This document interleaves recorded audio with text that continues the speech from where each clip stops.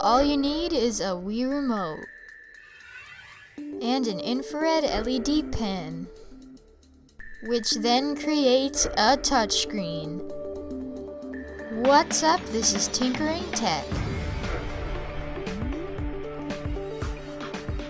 First, download the software from johnnylee.net.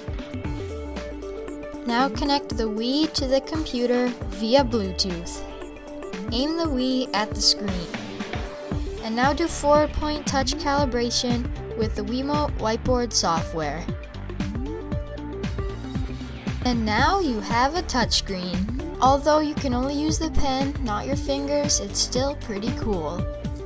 Let's play Angry Birds.